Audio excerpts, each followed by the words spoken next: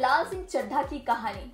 आमिर खान के अलावा कौन है फ़िल्म की स्पेशल अटेंशन कहाँ चल रही है फ़िल्म की शूटिंग हेलो दोस्तों बॉलीग्राज स्टूडियो से मैं हूँ सानिया सैफी।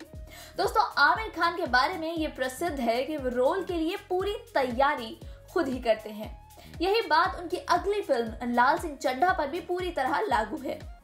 फॉरेस्ट गम के हिंदी रीमेक में अपने सरदार वाले रोल के लिए आमिर खुद ही पगड़ी बांधना सीख रहे हैं। लाल सिंह चड्ढा की कहानी को अतुल कुलकर्णी ने लिखा है, जबकि अद्वैत चंदन फ़िल्म को डायरेक्ट कर रहे हैं। फ़िल्म में आमिर खान के साथ करीना कपूर भी नज़र आएँगी और इसकी शूटिंग चंडीगढ़ में चल रही है। लाल सिंह चड्ढा अगले साल क्रिसमस वीक पर रिलीज़ होगी। लाल सिंह चड्ढा में साउथ के स्टार विजय सेतुपति की एंट्री भी हुई है। विजय ने कहा, वो तमिल, तेलुगु के अलावा दूसरी इंडस्ट्री की फ़िल्मों में काम करने से डरते हैं। विजय का कहना है कि भाषा कोई बड़ी बाधा नहीं है, वो सीखी जा सकती है। लेकिन उस क्षेत्र की संस्कृति को समझना ज़्यादा महत्वपूर्ण है, क्योंकि सिर्फ़ कल्चर के ज़रिए ही हम दर्शकों से जुड़ सकते हैं।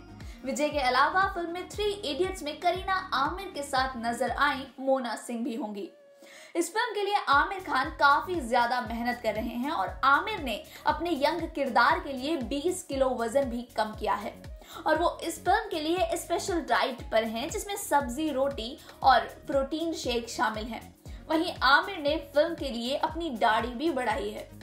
आमिर और करीना की जोड़ी साल 2012 में आई फ़िल्म तलाश के बाद अब लाल सिंह चड्ढा में साथ नज़र आएगी।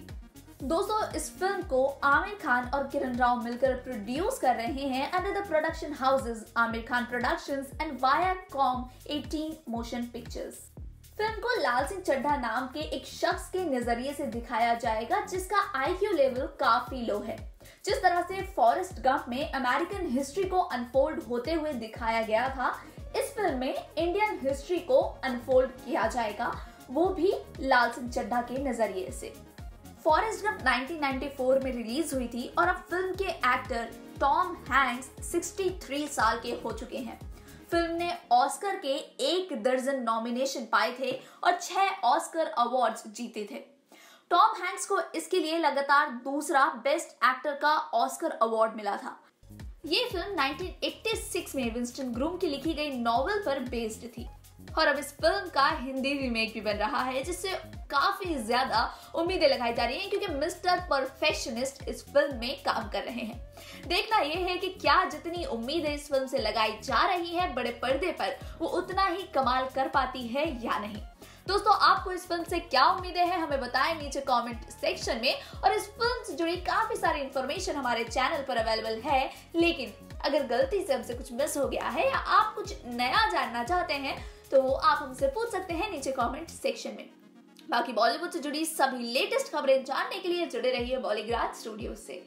मैं हुसानिया सानिया सैफी, जल्द मिलते हैं एक नई वीडियो के साथ। लेकिन तब तक मोहब्बत बांटते रहिए।